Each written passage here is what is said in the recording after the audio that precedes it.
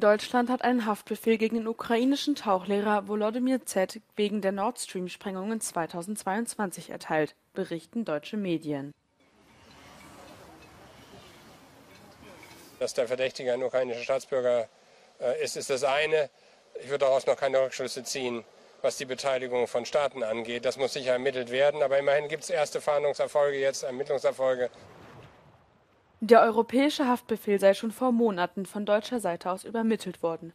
Trotzdem ist es dem Verdächtigen Volodymyr Z gelungen, Polen zu verlassen. Möglicherweise wurde er gewarnt. Sein derzeitiger Aufenthaltsort ist den Ermittlern nicht bekannt.